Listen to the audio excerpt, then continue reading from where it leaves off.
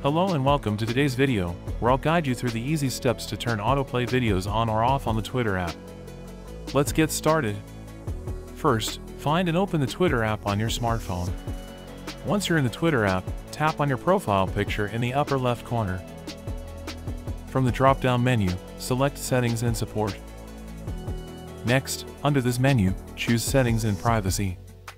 Within the settings, tap on Accessibility, Display, and Languages. Then, navigate to Data Usage.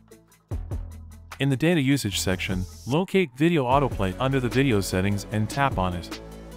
A drop-down list will appear, allowing you to choose when videos should autoplay. You can select options such as autoplaying videos when on mobile and Wi-Fi, only on Wi-Fi, where you can choose never to turn off autoplay. And that's it!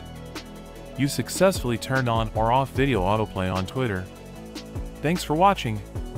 Don't forget to like and subscribe for more videos.